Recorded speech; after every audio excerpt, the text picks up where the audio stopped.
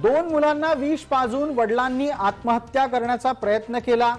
त्यात दुर्दैवीरित्या वडिलांचा मृत्यू झालाय. तर दोन मुलांवर उपचार सुरू आहेत. औरंगाबादेत घडलेल्या या घटनेनं सर्वत्र हळहळ व्यक्त होतीये.